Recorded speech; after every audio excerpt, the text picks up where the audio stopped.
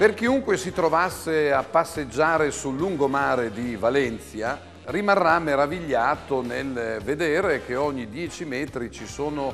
delle targhe che rendono omaggio ai grandi del cinema.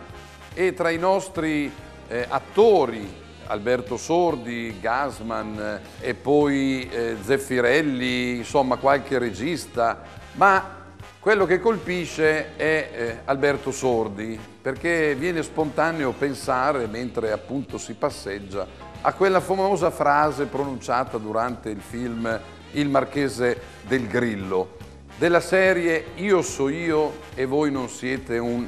Ecco, anche perché il pensiero riemerge ogni qualvolta si fa l'ingresso a Cevisama, l'evento che si è tenuto la settimana scorsa nel capoluogo della regione valenziana, perché anche se pronunciato in altro modo, eh, il past presidente di Confindustria Ceramica Angelo Borelli pronunciò quella famosa frase devono ancora mangiare dei crostini questi spagnoli, che è un po' come quella di Sordi, io so io, voi non siete.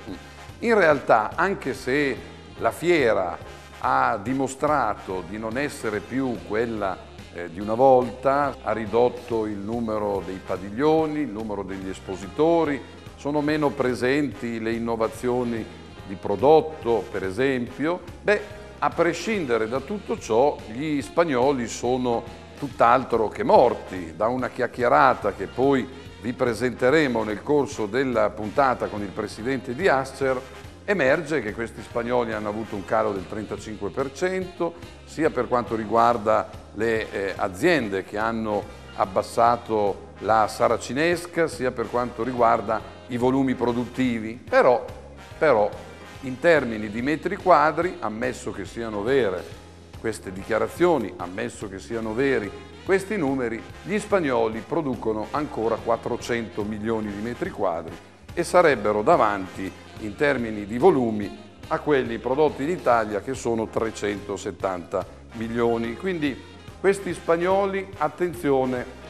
a darli per morti, anche perché nel momento in cui avranno preso possesso veramente della tecnologia digitale, avranno eh, imparato a realizzare prodotti anche di fascia alta, potrebbero veramente contare sempre di più eh, in Europa. Se non altro perché eh, gli spagnoli fuori dalle loro aziende hanno di più, c'è poco da fare, hanno più infrastrutture, lo abbiamo sempre sostenuto e a maggior ragione lo sosteniamo oggi, hanno le strade, le superstrade, i porti, sono vicini al mare, hanno dei costi di produzione che sono inferiori ai nostri, insomma tutto sembra andare nella direzione eh, di questi produttori iberici o almeno nella direzione di non pensare che siano comunque morti. Ecco, non vorrei che un domani fossero loro e non Alberto Sordi a guardarci e a pensare e a dire soprattutto che yo soy yo y vosotros nunca.